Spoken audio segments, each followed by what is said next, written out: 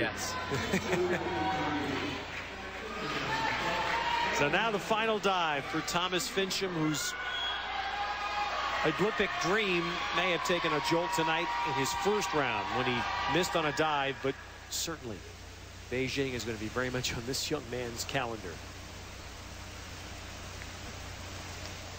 I wouldn't have wanted to follow Justin Dumais when he got all those pins.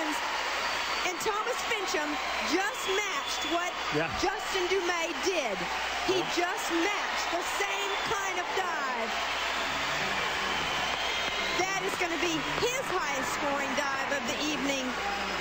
These guys have really put on a show. And Thomas Finchum is one of the showmen, not show boys. That's right. Look at this. Back two and a half with one and a half twist. No splash.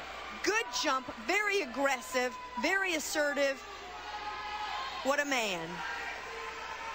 In a boy's Speedo. Well, well, there are no tens, but it's nines and nine fives. And Thomas Finchum, who just finished eighth grade, has just finished second in the diving trials here in the Olympic Games.